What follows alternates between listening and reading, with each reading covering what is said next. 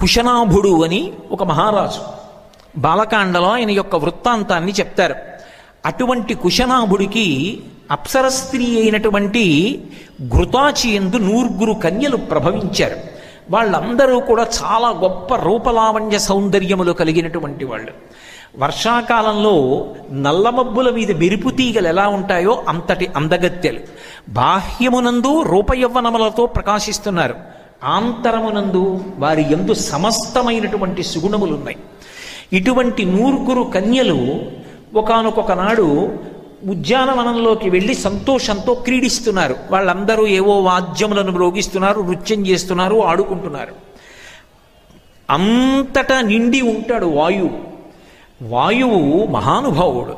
వాయువు యొక్క వైభవాన్ని రామాయణంలోనే ఉత్తరాఖండలోనే చెప్తారు. వాయు ప్రాణ సుఖం వాయు. అసలు వాయువే ప్రాణము వాయువే సుఖము. గాలి తగలటం లేదనుకోండి చికాగ్గా ఉంటుంది. గాలి తగులుతోంది అనుకోండి అమ్మయ్య అనిపిస్తుంది. అమ్మయ్యా కాస్త గాలి వేసిందండి అంటాం. వాయు ప్రాణ సుఖం వాయు ఆ వాయువు శరీరంలోంచి వెళ్ళిపోయింది అనుకోండి అంతే మృత్యువుని పొందాడు అంటారు. వాయునాశం పరిత్యక్తం న సుఖం విందతి జగత్. ఆ వాయువు కానీ విడిచిపెట్టేసింది అంటే లోకం సుఖాన్ని పొందదు. అంతేకాదు కాష్టభూతాని జిజ్ఞిరే. శరీరంలోంచి గాలి అంతా బయటికి వెళ్ళిపోతే శరీరం కర్రలా అయిపోతుంది. అందుకే చనిపోగానే మనిషి కాలు ఇలా పైకెత్తితే మడుచుకుంటుంది. కొంతసేపు అయిపోయిన తర్వాత కాలు పట్టుకు పైకెత్తితే కర్రల శరీరం అంతా లేచిపోతుంది. ఎందుకంటే ఇంకా లోపల వాయు ప్రసరణం ఆగిపోతుంది. ఇక వాయువు తిరగదు. తిరగకపోతే కాష్టము కర్రలా అయిపోతుంది శరీరం. అటువంటి వాయువు పూజనీయుడు. నమస్తే వాయో త్వమేవ ప్రత్యక్షం బ్రహ్మాసి. ఇంతటి మహానుభావుడయ్యుండి కూడా కోపమునకు వశుడై అపకీర్తి తెచ్చుకున్నాడు ఒకప్పుడు. ఇది ఎంత గొప్పవాడవు అన్నది పక్కన పెట్టండి. ఒక్కసారి అక్కర్లేని కోపం ఆవహించేస్తే నోటి వెంట వచ్చినటువంటి మాటలు ఎంతో అపకీర్తి తీసుకొస్తాయి మనిషికి. వాయువు ఈ నూరుగురు కన్యలు ఆడుకుంటుండగా చూశాడు. వాళ్ళ దగ్గరికి వచ్చి ఒక మాట అన్నాడు మీరు మనుష్య శరీరాలతో ఉన్నవారు. కాబట్టి ఈ మనుష్య శరీరాలు శాశ్వతంగా ఉండవు. మర్త్యలోకము అంటారు ఈ లోకాన్ని. దీనికి మర్త్యలోకము అన్న పేరు ఎందుకు వచ్చింది అంటే ఈ లోకంలో ఏ ప్రాణి ఏ శరీరంతో వస్తుందో ఆ శరీరాన్ని విడిచిపెట్టేసేయాలి అది ఈ లోక ధర్మం. ఇక్కడికి వచ్చి శరీరం విడిచిపెట్టనండి అంటే కుదరదు. అది ఈశ్వరుని యొక్క శాసనం. శరీరాన్ని విడిచిపెట్టి తీరవలసింది. కాబట్టి మీరు శరీరాల్ని విడిచిపెట్టేస్తారు. అందున యవ్వనం ఎంతకాలం ఉంటుంది? కొద్ది కాలం ఉంటుంది. ఆ యవ్వనం ఉన్నప్పుడే మీలో ఈ అందచందాలు ఉంటాయి. ఒకసారి అందం యవ్వనంతో పాటే వెళ్ళిపోతుంది. శరీరాలు కూడా ఉండవు. శరీరాలు కూడా పడిపోతాయి. కానీ మీరు నూర్గురు నాకు భార్యలైతే మీ అందం శాశ్వతత్వాన్ని పొందుతుంది. మీ యవ్వనం చెక్కు చెదరదు. ఎందుకంటే మేము అమరులం. త్రిదశులు అంటారు దేవతల్ని. వాళ్ళు ఎప్పుడూ ముప్పై ఏళ్ళ వయస్సులోనే ఉంటారు. పుట్టినప్పుడు ముప్పై ఏళ్ళు ఎన్నాళ్ళున్నా ముప్పై ఏళ్ళు వాళ్ళ శరీరం వదిలిపెట్టినప్పుడు ముప్పై ఏళ్ళే. అందుకే వాళ్ళకి అమరకోశం త్రిదశలని పిలుస్తుంది. ఎప్పుడు ముప్పై ఏళ్ళ వయస్సులో ఉంటారు ఎప్పుడు యవనంలో ఉంటారు వాళ్ళు. అందుకే తరగని భోగాలు అనుభవిస్తూ ఉంటారు. కాబట్టి మీరు నాకు భార్యలైతే ఎప్పటికీ యవ్వనంలో ఉంటారు. ఇది మీకు అదృష్టం కదా? ఇంకింతకన్నా కావాల్సిందే ఉంది నేనా? ఎంతటి వాడినో మీకు తెలుసు వాయువుని. సమస్త ప్రాణులను నిలబెట్టేటటువంటి మంగళప్రదుణ్ణి. కాబట్టి మీరు నూరుగురు నాకు భార్యలు కండి అన్నారు. వాళ్ళన్నారు చాలా గొప్ప మాట అన్నారు వాళ్ళు.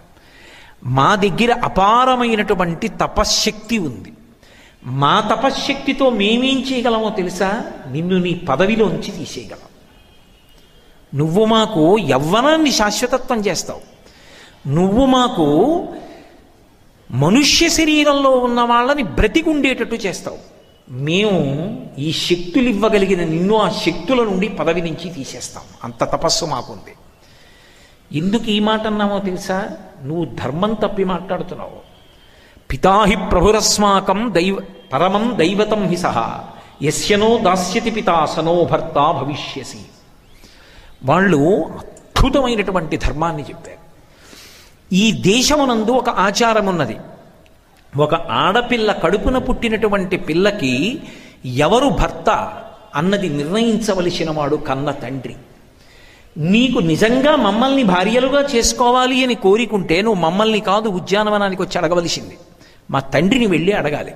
అయ్యా నీకున్నటువంటి నూర్గురు కన్యలు గుణవంతులు రూపలావణ్య సౌందర్యములు ఉన్నవారు ఆ నూర్గురిని నాకు కన్యాదానం చేయమని అడగాలి. నువ్వు అడగలేదు. ఆడపిల్లల్ని మమ్మల్ని స్వతంత్రించి అడుగుతున్నావు. మేము అనొచ్చా? నీకు భార్యలు అవుతామని? అనకూడదు. ఎందుకు అనకూడదంటే ఈ దేశం మనకు ఒక ఆచారం ఉన్నది. తండ్రి నిర్ణయించాలి తప్ప కూతురికి భర్తెవరో ఆడపిల్ల తాను కాదు నిర్ణయించుకోవలసినది. ఇప్పుడు కాదు. ఏనాటికి ఈ దేశమునందు ఆడపిల్ల తన భర్తని తాను స్వతంత్రముగా నిర్ణయించుకుని దుర్దినము రాకుండుగాక అన్నారు వాళ్ళు. నేను అబద్ధం ఆడాననుకుంటే మీరు రామాయణం బాలకాండ చూడండి ఇంటికి వెళ్ళాక వాళ్ళు ఈ మాట అన్న తరువాత కోపం వచ్చింది ఆయనకి. తాసాం తద్వచనం శ్రుత్వా.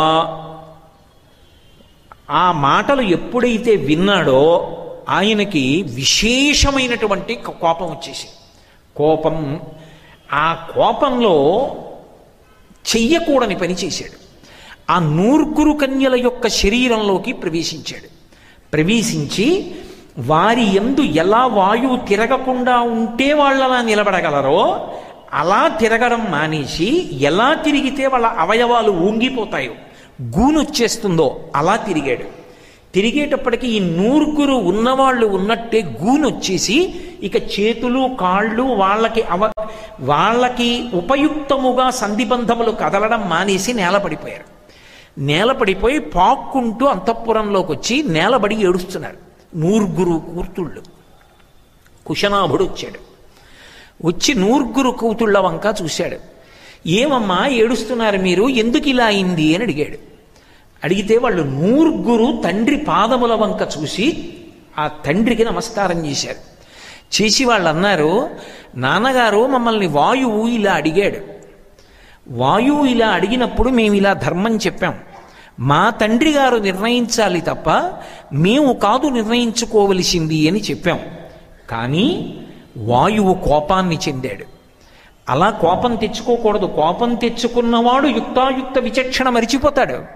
నా ఉపన్యాసం దాంతోనే కదా ప్రారంభం. క్రుద్ధ పాపం నకుర్యాత్క క్రుద్ధో హన్యాత్కురూనపి క్రుద్ధ పరుషయావాచ నరం సాధు నదీక్షిపేత్.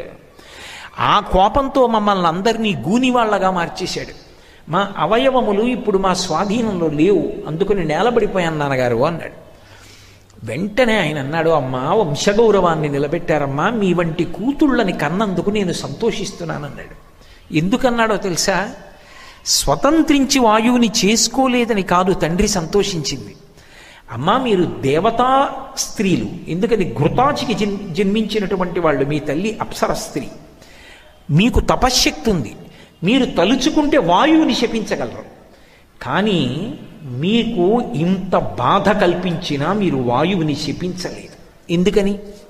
వాయువుకి ఏదైనా శాపం ఇస్తే లోకమునకంతటికీ ఉపద్రవం వస్తుంది. వాయువు తిరగలేదనుకోండి ఏ ప్రాణి నిలబడుతుంది? వాయువు తిరగలేదనుకోండి ధర్మచక్రం ఎలా తిరుగుతుంది అసలు? అందుకని మీరు దూరదృష్టితో శపించకుండా మీ కోపాన్ని నిగ్రహించుకున్నారు.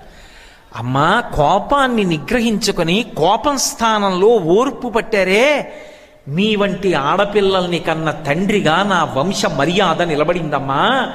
మీ వంటి బిడ్డల్ని కన్నందుకు పొంగిపోతున్నాను కోపానికి వశపడిపోవడం లోకంలో ఎవడైనా చేస్తాడు ఆడపిల్లకి అందం అంత ప్రధానమైన మీరింత అందగత్తెలైనా మీరు మీ అందం చెడిపోయినా గూనొచ్చినా పడిపోయినా మీరు కోపమునకు వశులు కాలేదు. మీరు ఎంత సహనం పట్టారమ్మా ఎంత ఓర్పు పట్టారమ్మా. అలంకారోహినారీణాం ఇది క్షమయాతు పురుష పురుషస్తథ అసలు ఒక స్త్రీకి కానీ ఒక పురుషుడికి కానీ పైకి కనపడనటువంటి గొప్ప అలంకారం ఇది. అంటే క్షమ ఓర్పు. ఎవడు ఓర్పు పడతాడో ఎవడు ప్రతిదానికి కాలు దువ్వడో ఎవడు ప్రతివాడికి జవాబు చెప్పడో ఎవడు ప్ర ప్రతిదానికి స్పందించడో ఎవడు ఓర్పుతో నిలబడగలడో వాడు విశేష భూషణమును ధరించినవాడు. పైకి వేసుకున్న ఆభరణాలు కావమ్మా డాబు పైకి కట్టుకున్న బట్ట కాదమ్మా డాబు. అసలైన ఆభరణం ఉండవలసింది ఏది అంటే ఓర్పు. ఆ ఓర్పు ఎవరు పట్టాడో వాడు ధన్యాత్ముడు వాడు పురుషశ్రేష్ఠుడు. ఆ ఓర్పు లేక వదరినవాడు యోగ్యమైనటువంటి స్థితి పొందినవాడు కాడు. అందుకనమ్మా మీ వంటి బిడ్డల్ని కన్నందుకు నేను పొంగిపోతున్నాను తల్లి. ఎంత గొప్ప పని చేశారమ్మా. అని ఆయన అన్నాడు క్షమాదానం క్షమాయజ్ఞం క్షమా సత్యం హి పుత్రికా క్షమా యశ క్షమా ధర్మ క్షమయావిష్టితం జగత్ అన్నాడు. శ్రీరామాయణంలో ఈ శ్లోకం బంగారు తీగలతో అక్షరాలుగా వ్రాసుకోవలసినటువంటి శ్లోకం ఈ జాతి వైభవాన్ని ప్రకాశింపజేసే శ్లోకం. క్షమాదానం. అమ్మ లోకంలో ఆ దానం చేశాం ఈ దానం చేశాం అంటారు గొప్పదే. అసలు నిజమైన దానం ఏదో తెలుసా? గొప్ప దానాలు చేసిన వ్యక్తిగా కీర్తింపబడేవాడు ఎవడో తెలుసా? మహాదాత అని కీర్తింపబలిచిన వాడు ఓర్పు కలిగినవాడు. తాను కోపాన్ని పొందడానికి కావలసిన శక్తి ఉన్నవాడయ్యుండి అవతల వారిని ఇబ్బంది తన శాపము చేత పెట్టగలిగిన వాడయ్యుండి కూడా అలా చెయ్యకుండా నిగ్రహించుకుని ఓర్పుతో పావు కుబుసాన్ని విడిచిపెట్టినట్టు కోపాన్ని విడిచిపెట్టి నిలబడిన వాడున్నాడే వాడమ్మా దాత వాడు చేసిన దానం ఎవరు చెయ్యరు. ఎందుకని మీరు ఆలోచించండి? వాయువుని వీళ్ళు కానీ శపించారనుకోండి నువ్వు అంతటా వ్యాపించావని కదా నీకు గర్వం? అందుకు కదా మాతో ఇలా మాట్లాడి ప్రవర్తించావు? నీకు వ్యాపకత్వము లేకుండుగాక అని ఒక మాట అన్నారనుకోండి. ఆ వాయువు చిత్రం ఏమిటంటే అశరీర శరీరేషు వాయు చలతి పాలయన్ అంటారు రామాయణ ఉత్తరకాండలో. వాయువు శరీరంతో ఉండడు. కానీ అన్ని శరీరములలోకి వాయువు వెళ్ళి పరిపాలన చేస్తాడు. వాయువు లోపల ఉన్నాడనుకోండి వాయువు లోపలికి వెళ్ళి బయటికి వస్తుంటే ఉన్నాడు ఉన్నాడు ఉన్నాడంటారు. యావత్ పవనో నివసతి దేహే తావత్ పృచ్చతి కుశలంగేహే గతవతి వాయువు దేహాపాయే భార్యా బిభ్యతి తస్మిన్ కాయే అంటారు శంకరభాగలు ఊపిరి లోపలికెళ్ళి బయటికి వచ్చినంతకాలం అయ్యా బాగున్నారా బాగున్నారా బాగున్నారా అంటారు లోపలికెళ్ళి బయటికి రాకపోయినా బయటికి వచ్చింది లోపలికి వెళ్ళకపోయినా లేడు వెళ్ళిపోయాడంటారు శివం అనడానికి ఆధారము వాయువే. ఆ వాయువు లోపల తిరుగుతోంది కాబట్టి చేతులు కాళ్ళు కదులుతాయి. కదులుతున్నాయి కాబట్టి ఆచమనం చేస్తున్నాం సమయానికి సంధ్యావందనం చేస్తున్నాం. యజ్ఞం చేస్తారు యాగం చేస్తారు. దేవతలకు హవిస్సులు ఇస్తారు ధర్మచక్రం నడుస్తోంది వర్షాలు పడుతున్నాయి.